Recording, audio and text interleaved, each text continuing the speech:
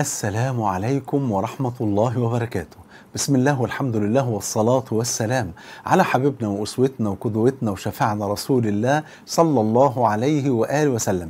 النبي صلى الله عليه وسلم يختار الشفاعة بدلا من دخول نصف أمته الجنة. نعرف بعد ما نصلى على حبيبنا صلى الله عليه وسلم.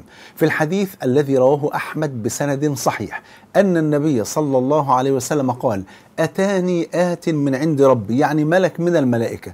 فخيرني بين أن يدخل نصف أمتي الجنة وبين الشفاعة فاخترت الشفاعة.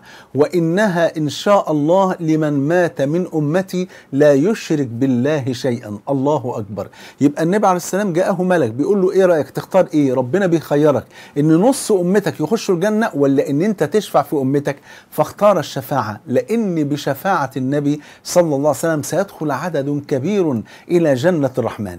يوم القيامة حبايبي كم أمة هتبقى موجودة. سبعين أمة إيه الدليل على كده؟ الدليل ما رواه أحمد بإسناد حسن أن النبي صلى الله عليه وسلم قال إنكم تتمون يوم القيامة سبعين أمة أنتم خيرها وأكرمها على الله. إحنا الأمة رقم سبعين. طيب كم عدد بقى اللي هيخش الجنة؟ من أمة النبي محمد صلى الله عليه وسلم تلتين أهل الجنة.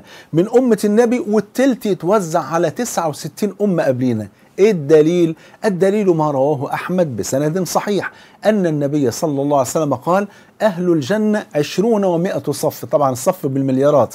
ثمانون منها من أمتي وأربعون من سائر الأمم. الله أكبر. اذا تلتين أهل الجنة هيكونوا من أمة النبي محمد صلى الله عليه وسلم. فخليك ورا النبي محمد صلى الله عليه وسلم. بحبكم في الله. والسلام عليكم ورحمة الله وبركاته.